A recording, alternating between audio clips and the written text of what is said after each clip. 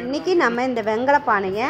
சபினா பொடி உப்பு எலுமிச்சம்பழம் மூணே பொருள் வச்சு உங்களுக்கு இந்த வெங்கல பானை நல்லா ஜொலிக்கிற மாதிரி விளக்கி காமிக்கிறேன்